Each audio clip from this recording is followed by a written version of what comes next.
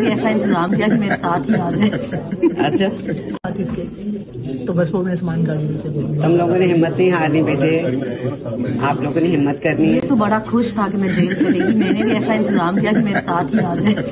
अच्छा आपकी मोहब्बत में गिरफ़्तार हो गया एक बस, सेंटेंस बस, बना हुआ है। हम तो डूबे हैं सनम तुमको भी ले डूबेंगे। हाँ मैंने यही ये तो सनम फिर आपने ऐसा ही काम किया इस बेचारे को चाहती हूँ एग्ज़ाम्पल सेट करे सारे खामतों के लिए देखो ऐसे बीवियों को सपोर्ट करते हैं पीछे पीछे जेल आ जाते हैं। यार ज़्यादा है थोड़ी।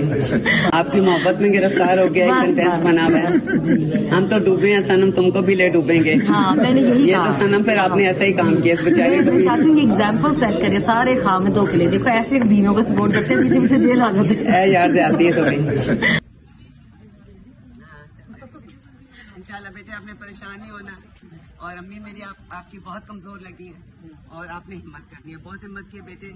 और अल्लाह ताला जल्द आप लोगों को मिलाएगा। साढ़े आठ महीनों में